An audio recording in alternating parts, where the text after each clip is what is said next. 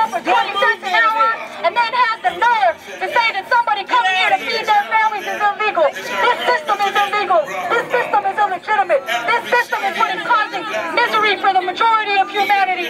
And we don't have to live this way. And we're not going to accept this fascistic movement. Let me say, We're not Nazis. We're Americans. Criminal. Criminal.